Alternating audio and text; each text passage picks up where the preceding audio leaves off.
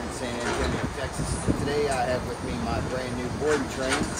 This little energetic ball of fuzz is a 13-month-old Bichon Frise. His name is Haru.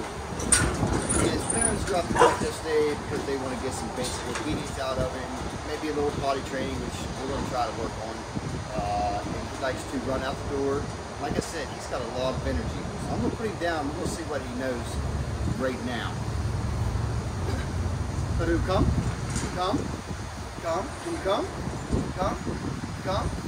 Come. Come. Good boy. Haru, sit.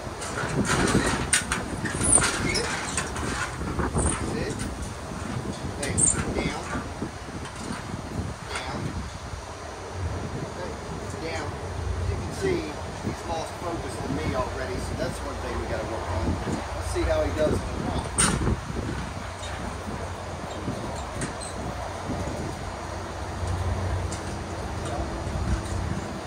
Good boy.